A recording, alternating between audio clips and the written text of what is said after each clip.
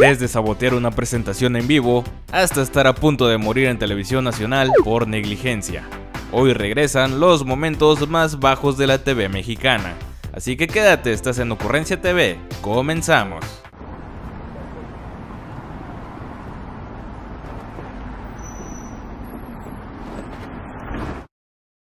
Iniciamos fuerte con un aporte de nuestro brother Chucho Calderón. Resulta que en 2013 un chico llamado Kimi comenzó a llamar la atención de muchas personas en redes sociales gracias a una de sus canciones titulada Alquimia, que supongo en alguna parte se hizo viral. Esta canción era parte de todo un disco que recién había publicado, su primer disco de hecho.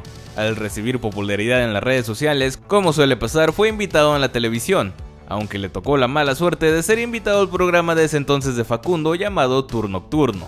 Si bien Facundo es admirado por muchos mexicanos por no tener pelos en la lengua y atreverse a hacer las cosas más impensables en cada programa en el que ha participado, también se le conoce por ser muy pesado con sus bromas. En el programa donde Facundo entrevista a Kimi, a pesar de que lo quisieron adornar, se nota que hay algo de tensión entre los dos. Kimi responde muy a la defensiva a las preguntas de este, y Facundo no parece tomarse tan en serio la carrera artística de Kimi. Si a esto le agregamos que cuando el chico se pone a hacer su actuación estelar, Facundo se trae al público para hacer desmadre en el foro, era natural que algo fuera a salir mal.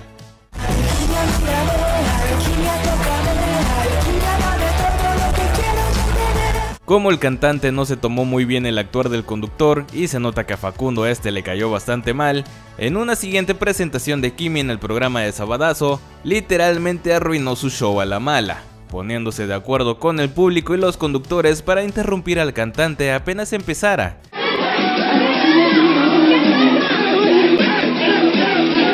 Y no solo eso, sino que tal cual lo terminaron sacando del foro entre todos, lo cual por supuesto provocó que el chico se enojara, especialmente porque algún integrante del programa se fue a acosarlo con una cámara preguntándole si se había enojado, a lo que Kimi respondía con puros insultos hacia Facundo. Que se pudra. ¿Ah, tanto así? Sí, ya, o sea, ya, ya, por favor. Ya. No, pues ya. Tranquilo, tranquilo. Ya déjame en paz. En buena onda, ya. Ya, no te pongas, Kimi. No, ya, ya. Es el público el que se enloquece con la imbécil, alquimia. púdrete, estúpido. Pero si la gente se enloquece con la alquimia, no es cosa mía. Púdrete, hijo de perra. Eres un hijo de perra, tú y Daniel Meraz. No sé quién es ese güey, pero ven a platicar. No te hagas pendejo. Güey, es la alquimia que se puso loca. Y- Años más tarde, en su canal personal, Kimi compartiría un video en el que explicaba lo mal que lo había tratado la producción, quienes le exigían cantar en vivo, a pesar de que no pensaban darle un solo centavo, y que después de lo de Sabadazo, Facundo lo amenazó con que iba a hacer que no lo volvieran a aceptar en Televisa. El cantante también cuenta que cerca de la fecha que se presentó en los programas, su expareja acababa de fallecer, por lo que tampoco se encontraba mentalmente estable. Y fui en un estado anímico y de salud pues muy deplorable. Me vieron muy delgado, parecía yo cadáver, pero no por eso que quiere decir que tuviera sida o, cáncer como ellos alardearon. Sí, porque lo dijeron en Televisa lo dijeron en ese programa y hasta en redes sociales que supuestamente yo tenía sida, cosa que no es cierto. A estas alturas creo que ya todos los mexicanos e incluso personas de otros países conocen bien a Carla Panini, pero para los que aún no sepan mucho de ella, es una conductora de Monterrey que ya hace algunos años no solo le robó el esposo a su mejor amiga Carla Luna, sino que lo hizo aún sabiendo que ésta padecía cáncer, lo que por supuesto le hizo ganarse el odio de todos cuando Carla murió. En la década pasada, ambas conductoras se hicieron conocidas por interpretar a un dúo cómico llamado Las Lavanderas, donde solían improvisar conversaciones subidas de tono. Después de un tiempo de estar trabajando juntas en uno de los shows que dieron en Telehit, Panini prácticamente le confiesa a Carla Luna que ha tenido que haberes con su esposo, y no contenta con eso, se burla de que la conductora se haya enojado de verdad. Lo que pasa es que usted su vato no se la parcha desde hace dos años. Y trae la, la opresión, la opresión vaginal. De los labios uterinos. Voy a leer twistes aunque no quiera. Y a ver si Chubato se la parcha en estos días. No, fíjese. Voy a pedirle a su vato que me parche. Ah. Ahí sí sabe que sale Chucky, ¿eh? Mire. No Mira, se le- mete en le camisa de pegué, varas. Le pegué donde más le duele.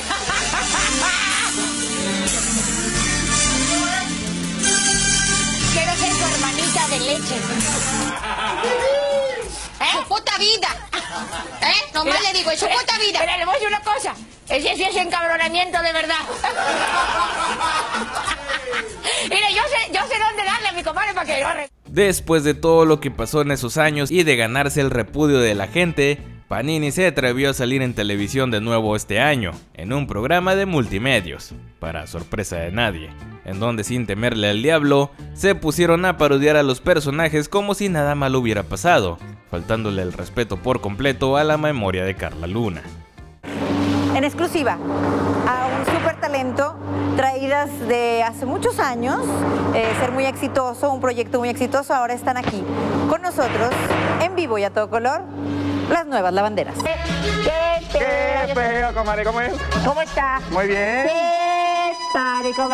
Pues una como que era. Como se imaginarán, dicho video se encuentra forrado de dislikes y malos comentarios hacia los conductores en el canal de YouTube. Para finalizar tenemos un suceso que solo los chaburrucos recordarán, y del cual yo me enteré gracias al comentario de uno de mis seguidores. Se trata de un accidente que ocurrió en vivo hace más de 20 años.